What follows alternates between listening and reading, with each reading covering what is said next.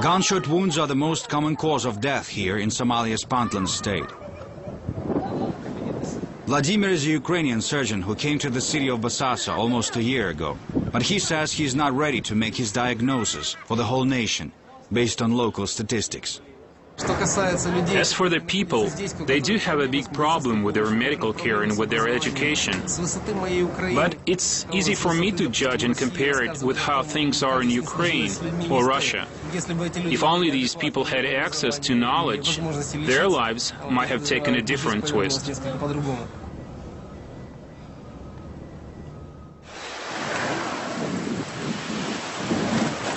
Doctors never leave the hospital without a bodyguard or two. All the medical staff are under the protection of a powerful clan in Bosaso. The beach is about the only attraction here. It's the Gulf of Aden, and it means that the pirates are never too far off. Vladimir doesn't mind treating all kinds of people. After all, it's his job, and he came all the way down here, chasing money, to support his whole family.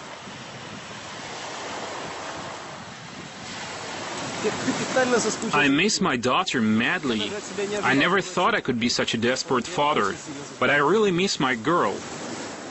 I'd say I really, really miss her.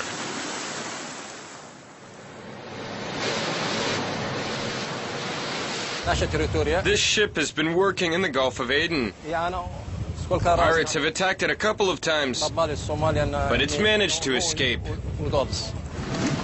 This man is the head of the port of Aden. Recently, he's been very concerned.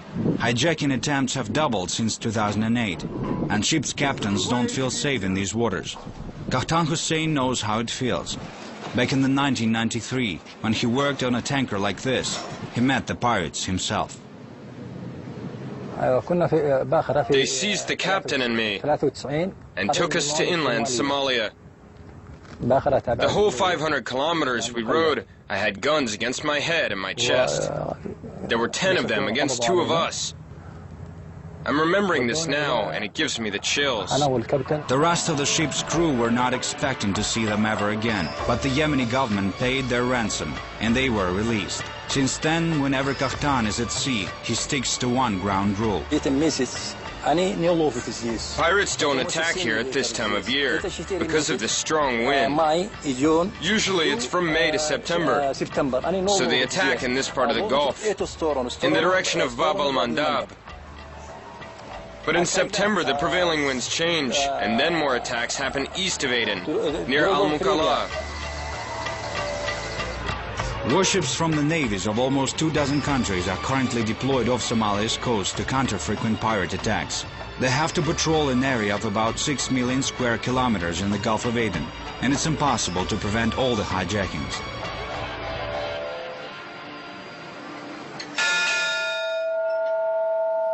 Still, the International Task Force had a number of successes, and in April 2009, the Russian destroyer Admiral Panteleev played its part. This is a very fierce weapon. Look at the bullet for the automatic rifle and compare it with this one. You can imagine what it could do. It was enough for the pirates to see this machine gun through their binoculars. They retreated immediately. They are cowards, and they can only attack defenseless ships with no guard on board. It was the destroyer's first day in the Gulf when it ran across a pirate mothership. The warning shots went unheeded, so the gunners had to fire at the escaping vessel. The pirates didn't fight back despite all the weapons they had aboard. The ship was well equipped with new Japanese engines and top-notch positioning systems. The question was, who owned all of that?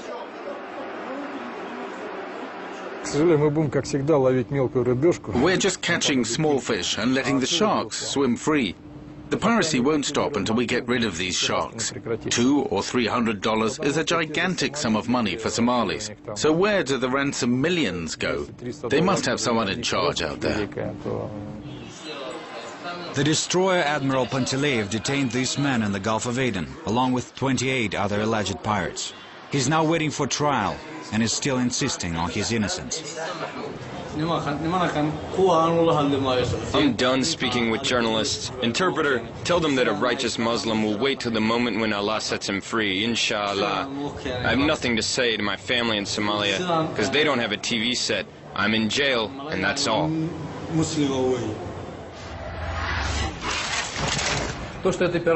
First, you have to prove in a court the fact that they're actually pirates. Once a Danish Navy ship detained a boat packed with guns.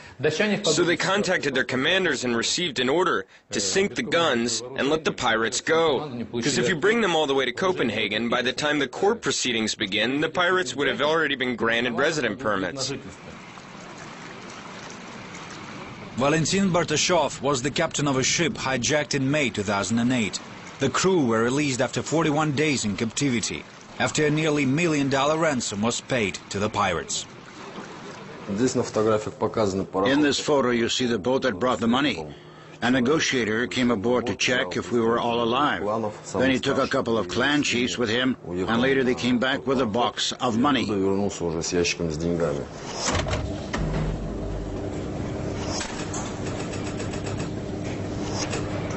But before leaving the ship, the hijackers acted as if they weren't the ones who'd received the ransom. That led Valentin to believe the gunmen were just pawns in the hijacking game. International insurance companies have introduced a special type of insurance called kidnapping and racket. It covers the owner's liability from the hijacking till the moment the ransom is parachuted down to the pirates. It also ensures the services of security agencies that conduct negotiations with the hijackers. Kidnap insurance costs have soared tenfold in the Gulf of Aden in the last year and a half. So you can see for yourself who benefits from this. Experienced seamen say that one of the ways to secure your ship while in the Gulf of Aden is to simply unplug all the satellite navigation equipment. The data record systems are the easiest way to track the movement of any vessel, and that information can be used both for good and evil. Mohammed Haidar is a spokesman for Sheba, a Yemeni state research center in capital Sana'a. According to Sheba, nearly $150 million have been paid in ransoms to the pirates in 2008. On top of that, Yemen's losses from soaring piracy have been estimated at 350 million. We have information that the Somali pirate gangs have a far-reaching spy network. One of their head offices is in London. I'm not sure what kind of information is available to British authorities on the issue, but we believe the pirates either have access to databases of international shipping companies or they're capable of hacking into them. 18-year-old Osman Bukhari lives in the Somali refugee camp near Aden. He came here by boat from Bosaso where he used to live under one roof with Somali pirates. He was running small errands for the hijackers, and they were even playing soccer together. Back then, in April of 2009, they hijacked yet another ship. The ship was called Maersk Alabama from America. It was delivering food to Kenya. They kidnapped the captain of the ship. Why do the pirates do that? Well, there's no government. There's a civil war going on. There's nothing to do, no job. So they found themselves a job, kidnapping people. Osman lives with his brother, a former fisherman. However, now none of them have jobs. So they have turned to selling a mild drug called chat to make a living. Osman hopes he's not staying in Yemen for long. It would be great if the UN could help me to emigrate to some European country, or to the USA or Canada. I could get my education there.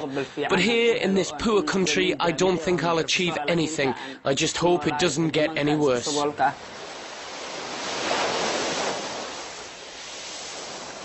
Vladimir spent almost a year in Somalia working in Bosaso for the local hospital. It was his first foreign experience, and he had a very intense surgical practice there.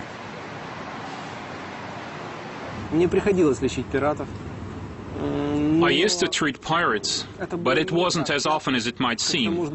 Not every person who has a boat there is a pirate. There aren't that many of them in Somalia, and nobody likes them there. The authorities and people are living there independently of one another. People understand that they need the authorities, and the authorities realize they need people, but interaction between them is very insignificant. These people regulate their lives by themselves, and they're proud of that. It's a country where it's hard to plan anything. When they want to plan something, they usually say, Inshallah. It means if God so wishes. So now I'll just spend some time home, and maybe in a year we'll go back there again.